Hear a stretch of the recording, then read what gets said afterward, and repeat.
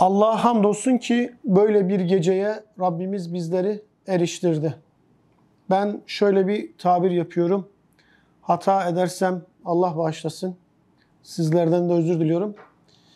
Tabir caizse bu gece hasılat gecesidir. Bir aylık yoğun temponun işte teravihlerin, iftarların, sahurların, duaların, namazların mükafatının, ecrinin toplanacağı, hasılatının alınacağı bir gün, bir gece. İnşallah isabet etmiştir. İnşallah Resulullah Aleyhisselatü Vesselam'ın söylediği gibi Ramazan ayı içerisinde arayın, son 10 gün içerisinde arayın, tekli gecelerde arayın ya da işte 27. gecede arayın diyerek inşallah bu gece isabet etmiştir. İnşallah bu gece Kadir gecesidir, kader gecesidir. Kaderimize yön verdiğimiz bir gece olur inşallah.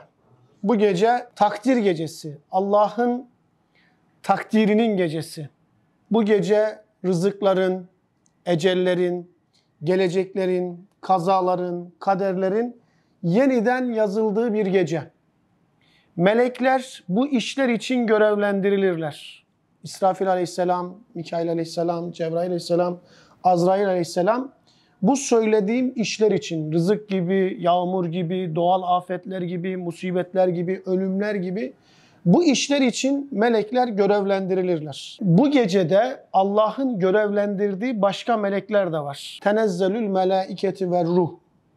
Kadir suresindeki ayette Rabbimiz bir kısım meleklerin ve Cebrail aleyhisselamın Kadir gecesinde yeryüzüne indiğini ve her bir meleğin bir iş için, her bir meleğin bir mümin için, bir Müslüman için onların işlerini, müşkilatlarını, sıkıntılarını, dertlerini, hastalıklarını, isteklerini, taleplerini gidermek adına Rabbimiz tarafından görevlendirilmiş ve yeryüzüne indirilen melekler var. Biz bunu nereden görüyoruz? Resulullah Aleyhisselatü Vesselam'ın hayatında meleklerin yeryüzüne indiğini birçok meselede gördük. O meselelerden bir tanesi Hanzala bin Ebu Amir isminde bir genç var.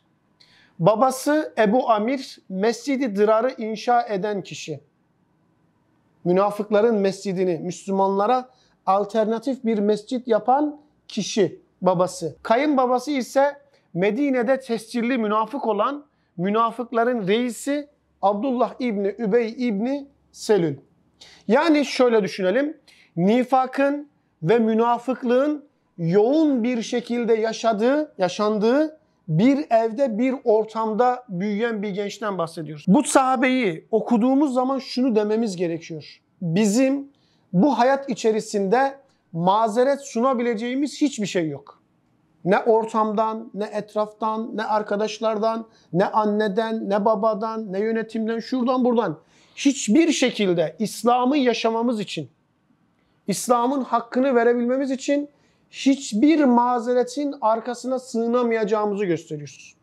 Babası ve kayınbabası münafık olan birinden bahsediyoruz.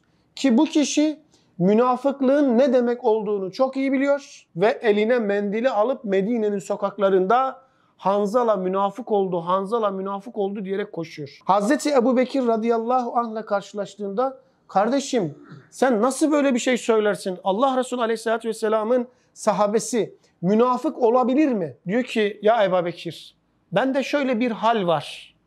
Ben Allah Resulü aleyhissalatü vesselamın mescidinde olduğum zaman o bize cennetten bahsedince kendimi cennette görüyorum. O bize cehennemden bahsedince kendimi cehennemde görüyorum. Ne zaman ki o mescitten ayrılıyorum, eve dönüyorum, işe dönüyorum, ticarete dönüyorum, bu hal benden gidiyor.